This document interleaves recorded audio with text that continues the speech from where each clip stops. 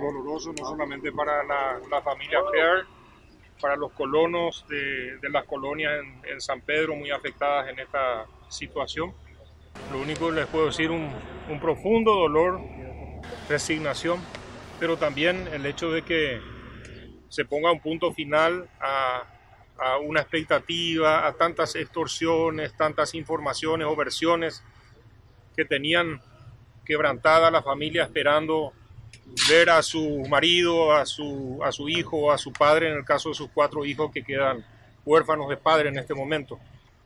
¿Qué quiere desembolsar un monto de dinero importante en todo este periodo cuando el señor ya está fallecido, senador? Yo no manejo esa información precisa. Lo, lo, que me tocó hacer hoy, acompañar a la familia cerca desde ayer, estuve en contacto permanente con ellos. Hemos solicitado que venga la mamá, que podía arrojar datos importantes como madre acerca de ciertas características eh, de la fisonomía, del cuerpo, de, de, su hijo.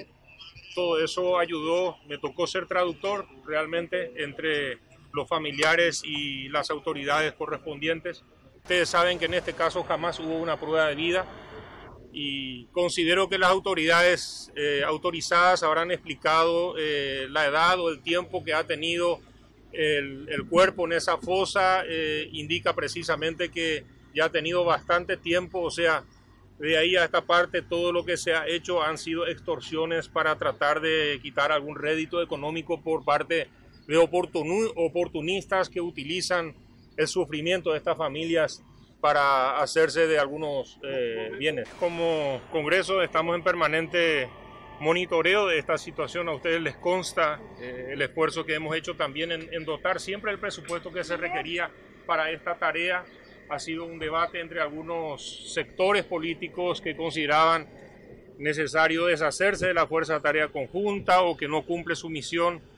Eh, yo creo que es un tema que siempre a nosotros nos compete que estamos cerca de la gente y nos toca ver la parte legislativa y también los presupuestos correspondientes. Yo creo que lo que necesitamos y a partir de este presupuesto que a pesar del medio veto ejecutivo ahora queda eh, así consolidado, ya tiene la tarea de la fuerza de tarea conjunta en un clasificador presupuestario separado, de tal manera que podremos llegar a controlar mejor cómo y en qué se utilizan los recursos y si realmente llegan a donde tienen que llegar.